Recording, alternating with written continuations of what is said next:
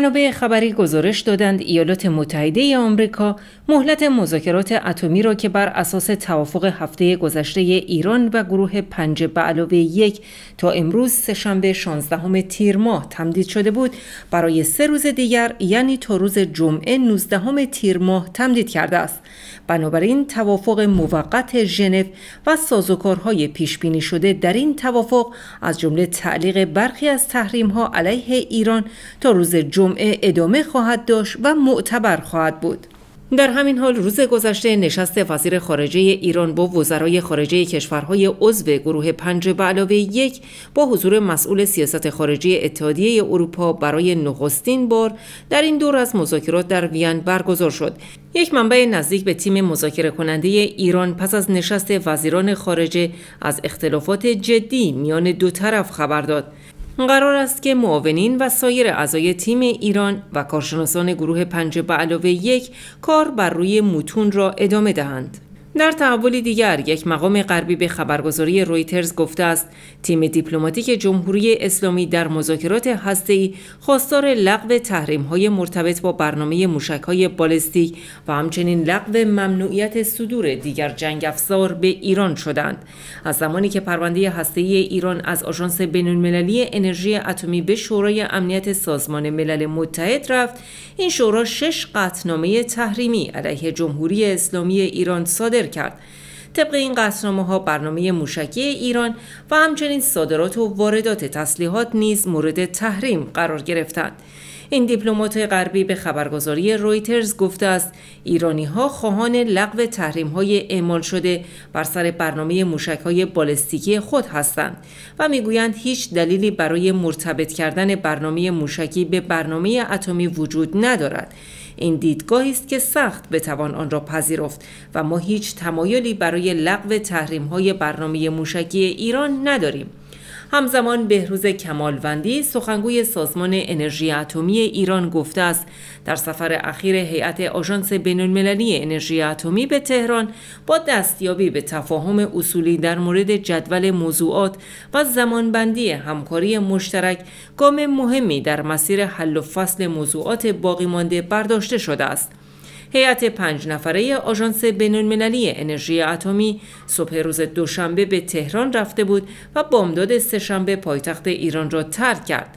آژانس بین‌المللی انرژی اتمی هنوز در مورد سفر هیئت خود به تهران بیانیه یا اطلاعیه رسمی منتشر نکرده است. همزمان بنیامین نتانیاهو نخست وزیر اسرائیل گفت توافق با ایران در حال بدتر شدن است و مدام دارد به نفع ایران پیش می رود. این توافق راه ایران برای رسیدن به زراتخانه اتمی را هموار می کند. نخست وزیر اسرائیل گفت آنچه در وین در حال روی دادن است شکستن بنبست نیست که بیشتر فروپاشی اصولی است که پنج به علاوه یک متحد شده بود به آنها پایبند باشد. آقای نتانیاهو هشدار داده که رفع تحریم ها به معنای سرازیر شدن میلیاردها دلار پول به ایران است که همه صرف افزایش حمایت از تروریسم در منطقه و به سود حماس و حزب الله لبنان می شود که هدف آنها اسرائیل است.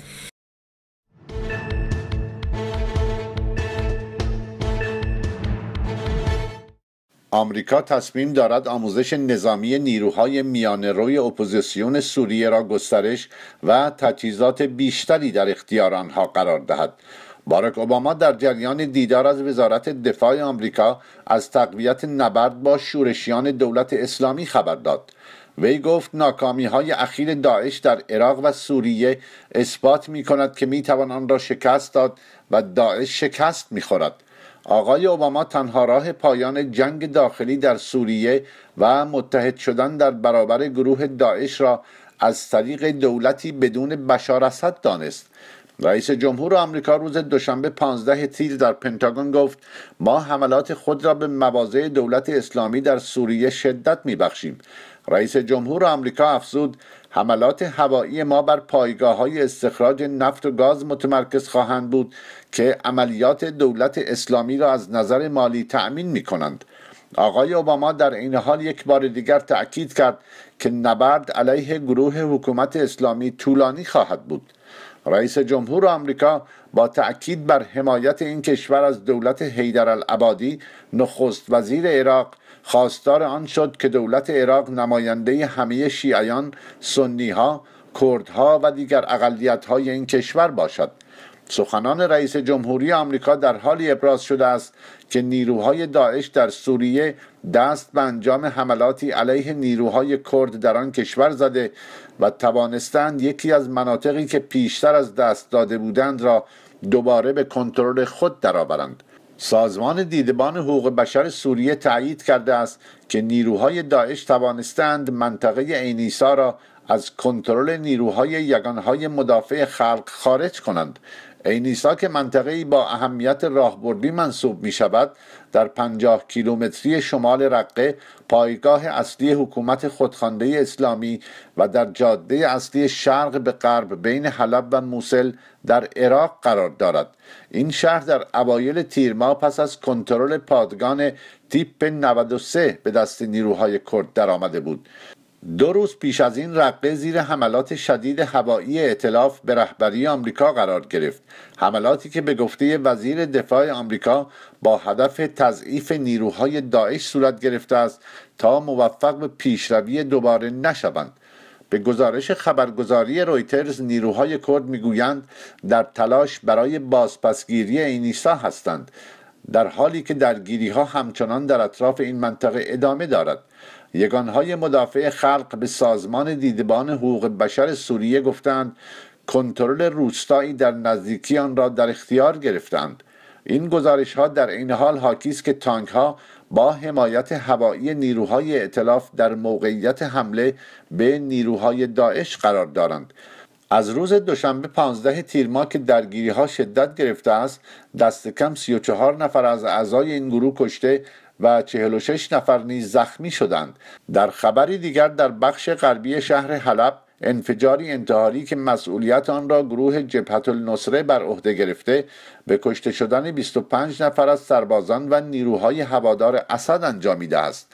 گروه جبهت النصره از شاخه های القاعده در سوریه به شمار می رود. این گروه و بخشی دیگر از مخالفان اسد کنترل بخش شرقی حلب را در دست دارند. خبرگزاری فرانسه به نقل از دیدبان حقوق بشر سوریه می‌گوید عامل انتحاری سوار بر خودروی خود را جلوی یتیمخانه‌ای در منطقه از زهرا که نیروهای حکومت سوریه از آن به عنوان پایگاه استفاده می کنند منفجر کرده است. در پی این انفجار انتحاری بین نیروهای هوادار اسد و گروه های مخالف تیراندازی رخ داده است. در خبری دیگر دو تن از دختران نوجوان و زیر 18 سال لندنی که به نیروهای داعش در سوریه پیوسته بودند در این فاصله با جنگجویان این گروه تروریستی ازدواج کردند. این دختران خانواده هایشان در بریتانیا را از ازدواج خود مطلع کردند. این خبر را وکیل مدافع خانواده ها به اطلاع روزنامه گاردین رسانده است. این دو دختر در ماه فوریه سال جاری به همراه یک دوست دیگر خود نخست به استانبول پرواز کردند و سپس از مرزهای زمینی وارد خاک سوریه شدند. موضوع پیوستن این دو دختر 15 و 16 ساله به دولت اسلامی در سوریه توجه افکار عمومی را در سطح بریتانیا برانگیخت. گفته می شود که این دو دختر نوجوان همکنون در شهر رقه که کانون اصلی داعش است زندگی می کنند. تسنیم آکونجی وکیل مدافع خانواده ها می‌گوید که فهرستی از نام و مشخصات مردان در اختیار این دو دختر قرار گرفته است که می توانستند از میان آنها دست به انتخاب بزنند. همسران کنونی آنها حدوداً 20 ساله هستند. خبر ازدواج این دو دختر اعضای خانواده های آنها را به شدت متأثر کرده است زیرا با ازدواج این دختران امیدی به بازگشت آنها به بریتانیا نخواهد بود و پیوند آنها با سرنوشت دولت اسلامی عمیقتر خواهد شد. هر سه این دختران دانش آموز یک مدرسه در لندن بودند. خانواده این دختران پلیس بریتانیا را متهم می کنند که آنها را در مورد خطر خروج دخترانشان از کشور مطلع نساخته است. بنابر ارزیابی پلیس این دختران از یکی از همکلاسی های خود پیروی کردند که پیش از این از کشور خارج شده بود. اکنون پلیس بریتانیا چهار دختر دانش آموز دیگر این مدرسه را ممنوع خروج کرده است که مبادا آزم منطقه جنگی سوریه شوند. بنابر ارزیابی پلیس بریتانیا تا کنون حدود 600 شهروند بریتانیایی رهسپار مناطق جنگی در سوریه و عراق شدند. در این میان حدود نیمی از آنها به بریتانیا بازگشتند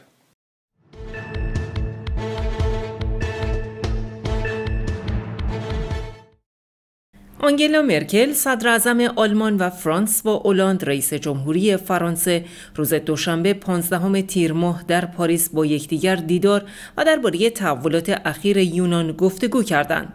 این دو رهبر قدرتمند حوزه یورو روز گذشته اعلام کردند به نتیجه حاصل از همه پرسی یونان احترام می‌گذارند و برای مذاکرات آتی با آتن آمادند. این سخنان در حالی بیان شده است که الکسیس سیپراس نخست وزیر یونان امروز برای گفتگو با دیگر سران حوزه یورو به بروکسل پایتخت بلژیک می رود. نخست وزیر یونان پیش از نشست روز گذشته سران آلمان و فرانسه با آنها گفتگو کرده بود. آنگلا مرکل روز گذشته خواستار آن شد که نخست وزیر یونان پیشنهادهای خود را درباره چگونگی به پیش بردن اقتصاد یونان ارائه کند این در حالی است که فرانس و اولاند بر فوریت یافتن راه حلی برای بنبست اقتصادی یونان تاکید کرد. آقای اولاند گفت اینک بر عهده سیپراس است که راه حلی قابل اتکا و جدی که به معنای برنامه طولانی و پایدار است پیشنهاد دهد. یونان میبایست تا پایان روز سهشنبه نهم تیر ماه مبلغ یک میلیارد و 600 میلیون یورو بابت وام سنگین خود از صندوق بینالمللی پول به این نهاد باز میگرداند.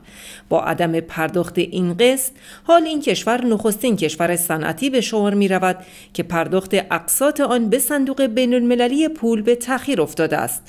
در آخرین دور مذاکرات اعتبار دهندگان به یونان پیشنهاد داده بودند که با تمدید پنج ماهه بسته کمک های مالی به یونان 15.5 میلیارد یورو در اختیار این کشور قرار دهند. ارائه این اعتبار اما به پذیرش شرط بازپرداخت قسط بدهی های یونان به صندوق بینالمللی پول بانک اروپا و اتحادیه اروپا بلافاصله پس از دریافت بسته کمک های جدید منوط بود. آنگلا مرکل روز گذشته آخرین پیشنهاد خود را که پیش از همه پرسی مناقشه برانگیز به یونان ارائه داده بود سخاوتمندانه خواند. خانم مرکل گفت این وضعیت باید حل شود. بدهکاری یونان این کشور را در آستانه ورشکستگی کامل و خطر خروج از حوزه یورو قرار داده است. روز یکشنبه چهاردهم تیر ماه مردم یونان به پای صندوقهای رأی رفتند تا در همه پرسی برای پاسخ به اقدامات اصلاحی در یونان رأی دهند. پرسش قانونی در این همه پرسی این بود که آیا مردم یونان با دریافت بسته کمک تازه‌ای از سوی وام دهندگان بین المللی در قبال تحمل ریاضت‌های اقتصادی بیشتر موافقند یا نه؟ پس از شمارش کامل برگه های رأی مشخص شد که بیش از 61 درصد شرکت کنندگان در همه پرسی به شروط وام دهندگان بین المللی پاسخ منفی دادند. آلکسیس سیپراس نخست وزیر یونان بارها اعلام کرده است نتیجه همه پرسی رأی به باقی ماندن یا ترک حوزه یورو نیست به گفته او نتایج همه پرسی راهی برای فراهم آوردن حمایت از موقعیت او در مذاکرات با دیگر اعضای اتحادیه اروپا است روز دوشنبه تمامی احزاب سیاسی مهم یونان اعلام کردند از موضع سیپراس در مذاکرات حمایت می کنند. پانوس کومونوس وزیر دفاع یونان در سخنرانی تلویزیونی خود اعلام کرد که نخست وزیر به بروکسل می رود تا به نمایندگی از مردم یونان مذاکره کند. آقای سیپراس پیش از این متعهد شده بود که با ایده های جدید برای شکست بنبست اقتصادی به نشست سران حوزه یورو در بروکسل می رود. نشست وزرای اقتصاد حوزه یورو در حالی برگزار خواهد شد که اوکلیدیس ساکالاتوس وزیر دارایی جدید یونان در آن شرکت خواهد کرد. روز دوشنبه و تنها چند ساعت پس از کناره‌گیری یانیس واروفاکیس وزیر سابق دارایی یونان اوکلیدیس ساکالاتوس سرپرست هیئت مذاکره کننده یونان با کشورهای وام دهنده جانشین وی شد. ساکالاتوس از تجربه کافی برای گفتگو با نهادهای وام دهنده برخوردار است. دولت یونان برای مقابله با ادامه بحران بدهی ها دست به تدابیری پیشگیرانه برای کنترل سرمایه زده است. تمامی بانک های این کشور قرار بود به مدت یک هفته تا دیروز دوشنبه 15 تیر ماه تعطیل بمانند. با این همه بر اساس گزارش ها تعطیلی بانک ها احتمالاً تا چهارشنبه ادامه خواهد داشت.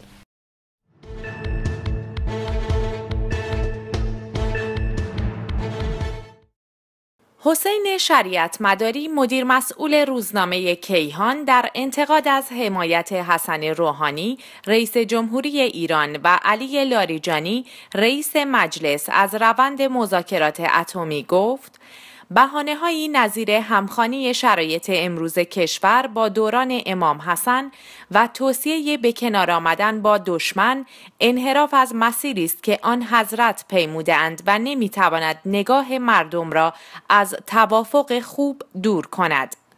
آقای شریعت مداری در سرمقاله روز سهشنبه 16 تیر روزنامه کیهان با عنوان سه کلمه حرف حساب نوشته است پنجشنبه گذشته آقای روحانی در زیافت افتار با استانداران و معاونان وزرا شرایط کنونی کشور را با دوران امام حسن مقایسه کرد و بی آنکه برای این مقایسه دلیل و سند و نمونه ای ارائه کند از صلح آن حضرت به عنوان الگویی یاد کرد که می تواند برای کشورمان کارساز و گرهگشا باشد.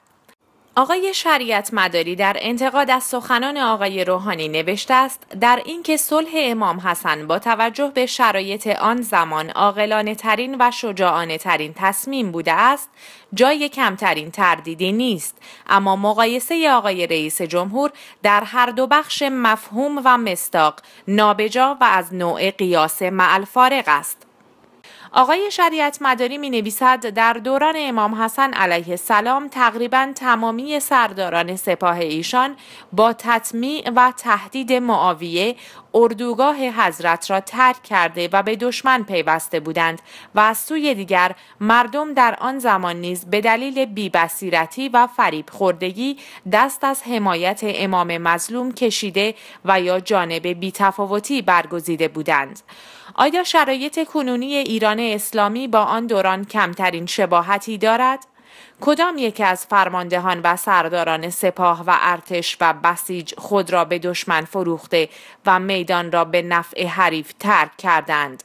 آنان که اگر اجازه ولی امر مسلمین و فرمانده کل قوا را واجب نمی‌دانستند تا کنون هزاران بار بر دشمن تاخته بودند و به قول حضرت آقا برای جنگیدن با دشمنان لحظه شماری می کنند.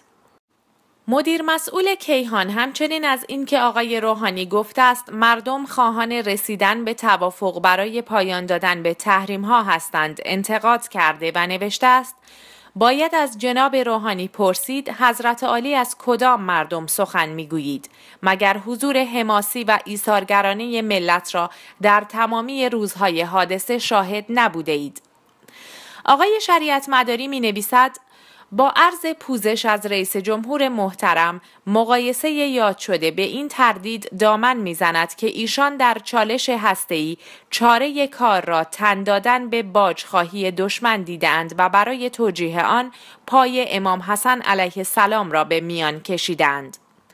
آقای شریعت مداری در بخش دیگری از یادداشت خود به انتقادهای آقای لاریجانی از تندروها پاسخ داده و نوشته است نتیجه این دیدگاه بی که ایشان بخواهند دور کردن منتقدان و در مقیاس وسیعتر دور کردن مردم از فصل الخطاب دانستن نظرات و رهنمودهای رهبر معظم انقلاب خواهد بود. آقای شریعت مداری در جمعبندی یادداشت خود می نویسد تنها ملاک و میزان برای ارزیابی توافق احتمالی انتباق کامل آن با معیارهایی است که حضرت آقا در قالب خطوط قرمز ترسیم کردند و بهانه هایی نظیر همخانی شرایط امروز کشور با دوران امام حسن علیه السلام و توصیه به کنار آمدن با دشمن انحراف از مسیری است که آن حضرت پیمودند و نمی‌تواند نگاه مردم را از توافق خوب دور کند. آید و برخلاف آنچه جناب لاریجانی مطرح کرده اند استناد به نظرات حضرت آقا برای ارزیابی روند مطلوب مذاکرات و توافق احتمالی پس از آن نه فقط پنهان شدن پشت سر رهبری نیست بلکه پیروی جانانه از نظرات حضرت ایشان است.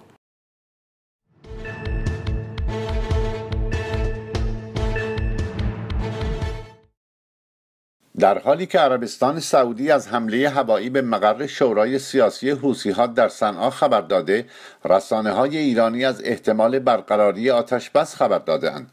یک مقام بلندپایه در سازمان ملل اعلام کرده گروه های یمنی و نیروهای ائتلاف عربی به طور اصولی با اجرای آتش بس پنج روزه و قابل تمدید تا عید فطر و بعد از آن موافقت کردند. به گزارش روزنامه الشرق الاوسط اسماعیل ولد شیخ احمد فرستادی ویژه سازمان ملل به یمن در راستای تلاش های خود موفق شد. تعهدات واضحی را در خصوص آتشبس پنج روزه و قابل تمدید از گروه های یمنی و به ویژه عبد رب منصور هادی رئیس جمهور مستعفی یمن و رهبران انصارالله و هواداران علی عبدالله صالح رئیس جمهور برکنار شده یمن بگیرد.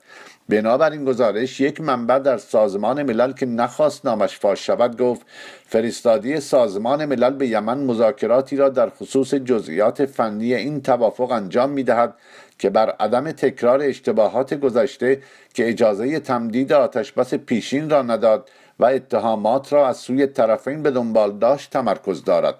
این مقام سازمان ملل ابراز امیدواری کرد که توافق روز سهشنبه یا چهارشنبه اعلام شود و همه گروه ها به آنچه که به وضعیت فاجعه بار مردم یمن پایان می‌دهد پایبند باشند تا زمینه لازم برای از سرگیری روند سیاسی فراهم شود.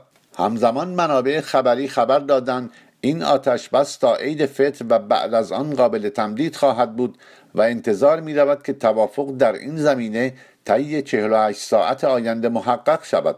بر اساس این گزارش طرفهای سیاسی یمن و نمایندگان احزاب سیاسی مختلف حاضر در مذاکرات صنعا از هر گونه اظهار نظر درباره تلاش‌های موجود برای تحقق آتش بس خودداری می کنند یک منبع مطلع به یک خبرگزاری روسی گفت مذاکرات در این زمینه همچنان در جریان است و فرستادی ویژه سازمان ملل در یمن که اکنون در صنعاست تعهدات آشکاری از طرفهای یمنی گرفته است که اعلام آتشبس دوباره در یمن را تضمین می کند از سوی دیگر جنگنده های اطلاف به رهبری عربستان سعودی بامداد امروز سهشنبه مقر شورای سیاسی حوسی ها و ساختمان دفتر مرکزی حزب علی عبدالله صالح در شمال صنعا را بمباران کردند. به گزارش سایت العربیه جنگنده های اطلاف همزمان مواضع حوسی ها و نیروهای صالح در استان امران را نیز مورد هدف حملات هوایی خود قرار دادند.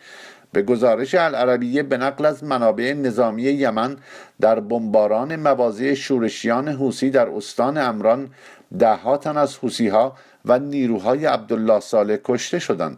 این سایت خبری همچنین از درگیری میان مقاومت مردمی هوادار دولت قانونی یمن به رهبری عبد رب منصور هادی در مناطق الزباب، الجمهوری و حوز الاشرف با حوسی ها خبر داده است. بنابراین گزارش در شهر عدن درگیری شدیدی میان شبه نظامیان حوسی و مقاومت مردمی هوادار دولت در مناطق مسکونی منصوره همچنان ادامه دارد.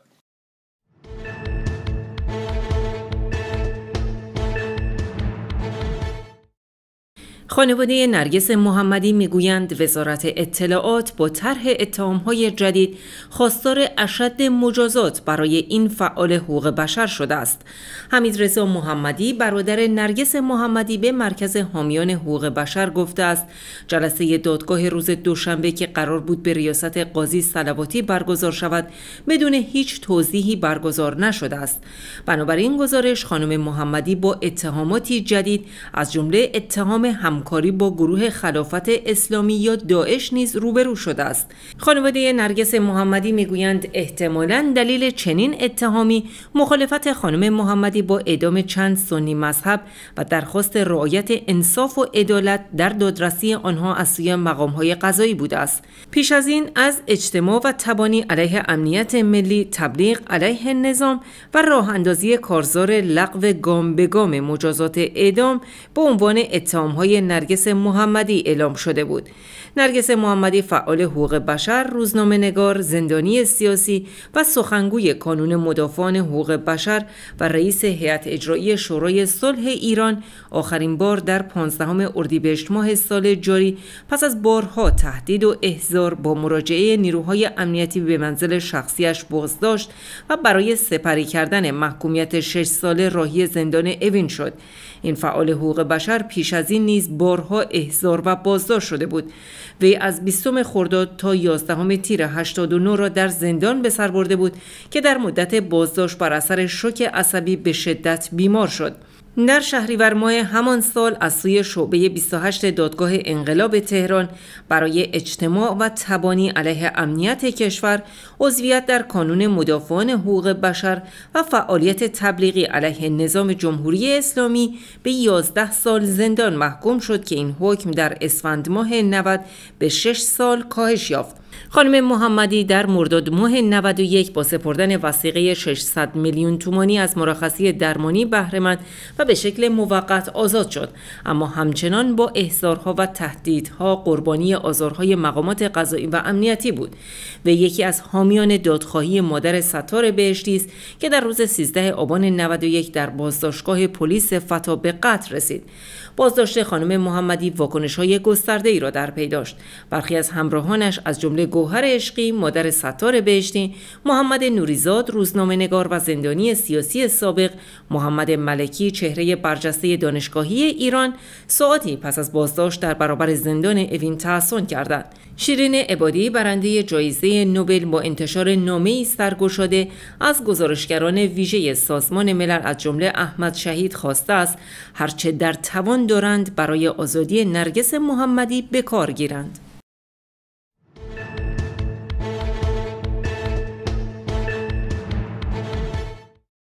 کمیته اخلاقی فیفا هرولد مین نیکولز مسئول ارزیابی درخواست کشورهای عضو برای میزبانی جامهای جهانی 2018 و 2022 را به مدت هفت سال از تمام فعالیت‌های مربوط به فوتبال معلق کرد.